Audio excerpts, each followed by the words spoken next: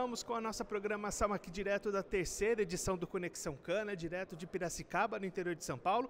Dessa vez para falar um pouquinho sobre os biológicos e qual que é a parcela de mercado ocupada por eles, especialmente no mercado de cana. Para isso a gente está aqui com o Cristiano Limberger, ele é gerente de atendimento da Kinetec.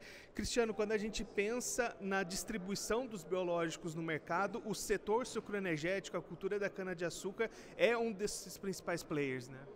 Perfeito, Guilherme. A gente tem aí uh, um crescimento importante do mercado de biológicos nos principais cultivos e a cana-de-açúcar, historicamente, ela já é uma, uma cultura que tem um uso principalmente de macro-organismos, como o caso da cotese, do próprio tricograma, né, e o uso de, do, do também para controle de cigarrinha, e agora, mais recentemente, a expansão principalmente de bionematicidas. Então, a gente tem uma uma representatividade já de 6% da área total de cana, mas 50% da área total já usa algum produto, já tem dentro da propriedade algum produto biológico. É uma referência realmente importante.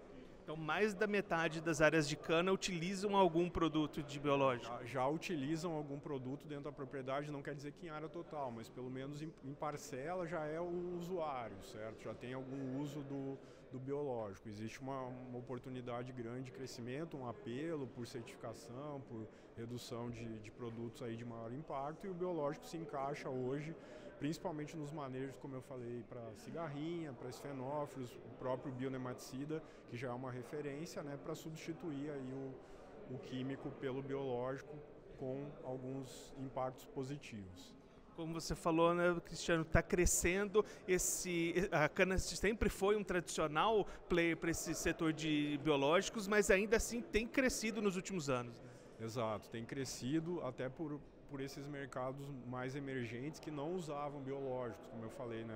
Os manejos mais específicos como nematóide, que era feito basicamente com químico, o esfenófilos, que é uma praga que ela cresce, né? Ou seja, é um, é um manejo extra que, que a usina ou o fornecedor não fazia, agora ele precisa fazer e o biológico acaba se encaixando como uma oportunidade aí até, né, para um manejo muitas vezes integrado. Né? Às vezes o químico não pode sair 100% e o biológico entra num, numa opção de manejo integrado.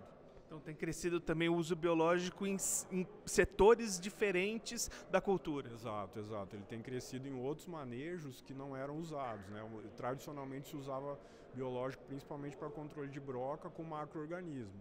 E agora esses mercados mais recentes, esses manejos mais recentes de pragas que vieram aí em função da, do fim da queimada, do, da expansão de cana em outras regiões, enfim, tudo isso acabou aí corroborando para um, uma demanda e também para uma infestação de algumas pragas que não eram problema. Se a gente for pensar em tendências daqui para frente, a gente pode afirmar que esse crescimento vai continuar e vai continuar crescendo daqui para frente?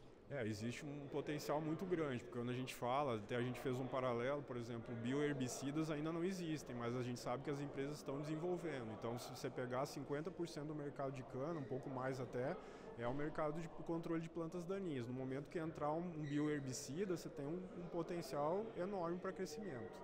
É um caminho sem volta, né, Cristiano? Começou e agora só vai aumentar. Exato, é um caminho aí que a própria demanda geral de, de produção de alimentos, ela, ela direciona para, né, de novo, não que o químico vai sumir, ele vai continuar também no manejo, mas o biológico passa a ser uma opção e no caso de manejo de plantas daninhas também, principalmente para algumas plantas que já têm problema de resistência com químicos.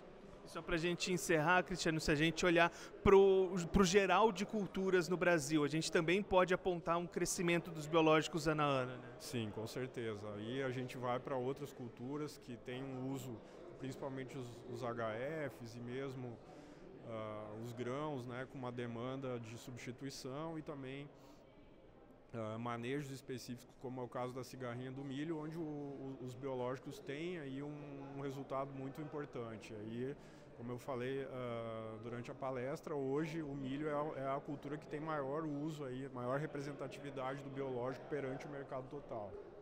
Esse, o Cristiano Limberger, gerente de atendimento da Kinetec, conversou com a gente para mostrar um pouquinho esse panorama do mercado de biológicos, especialmente na cultura da cana-de-açúcar. Continue ligado que daqui a pouquinho a gente está de volta aqui da terceira edição do Conexão Cana.